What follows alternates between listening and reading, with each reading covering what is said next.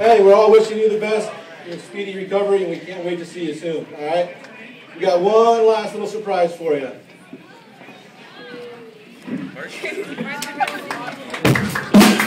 Thank you everybody for coming.